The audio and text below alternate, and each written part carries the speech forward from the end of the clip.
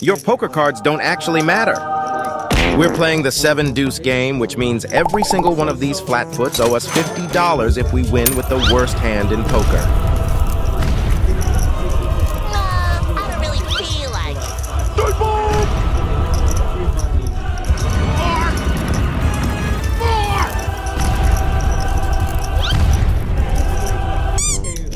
it. I'll get rid of that. And I'll take 50 from everybody, please. 50, 50, 50. up, I can hear you. 50, 50, 50, 50, 50. I got liquidated. so Thank you, brother. I was in so deep on the margin. Right? It was literally